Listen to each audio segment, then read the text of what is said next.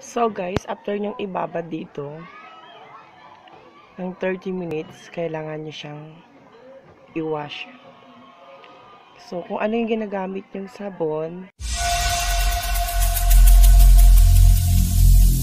Every single day,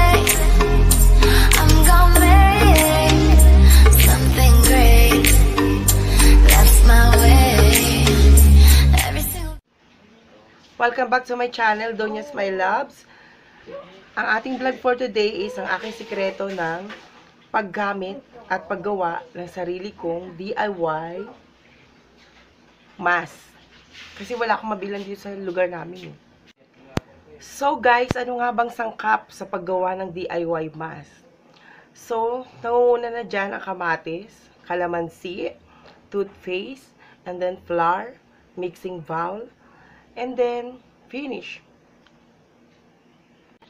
Sa inyong kaalaman, Donyas My Love, sa ating sangkap sa paggawa ng DIY mask, ay may malaki at maraming maitutulong na benefits ito sa ating skin upang maging smooth at whiten ang skin natin. Tulad ng itlog ay naglalaman ito ng anti-wrinkles para mabanat ang ating face lock na nangungulungulubot. Kalamansi, naglalaman ito ng vitamin C. At ang kamatis ay naglalaman ng vitamin E anti-aging. Ang flour ay anti-rashes at anti-bungang araw. At ang toothpaste ay anti-open pores. So, guys, marami maitutulong ang pagdi-DIY natin. Hindi lang basta gamit ka lang ng gamit ng kung anong product. Sa ating pagdi-DIY, bukod sa mura pa, sulit pa.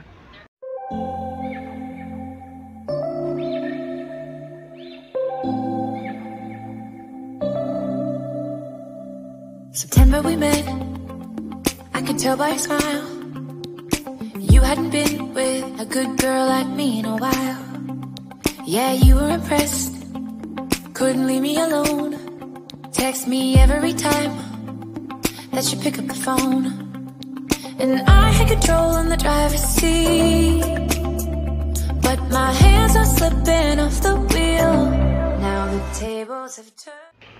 So guys, after natin mag-mixing ng ating DIY ingredients, ready na siya to apply in- into your face.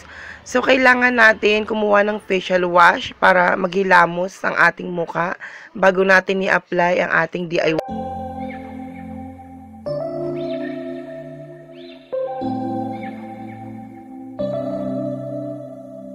September we met. I could tell by your smile. You hadn't been with a good girl like me in a while.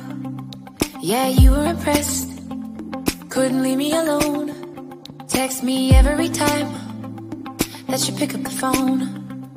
And I had control in the driver's seat. But my hands are slipping off the wheel. Now the tables have turned. Now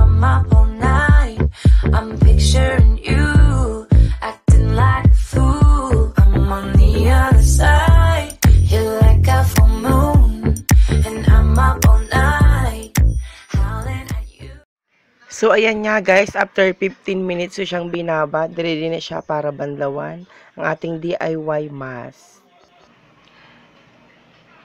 Ayun na nga guys, nabanlawan ko na siya. So, within 30 minutes ko siyang binabad, nabanlawan ko na yung DIY face mask natin na ginawa. So, So guys, inyo nasaksihan at napanood ang aking beauty secret DIY face mask. So kung nais nyo itong gawin sa inyong pamamaraan at sa loob ng inyong tahanan, maari lamang pong sundin kung anong napanood yung instruction dito sa aking video. And again, thank you for watching. And don't forget to subscribe my YouTube channel, Donyas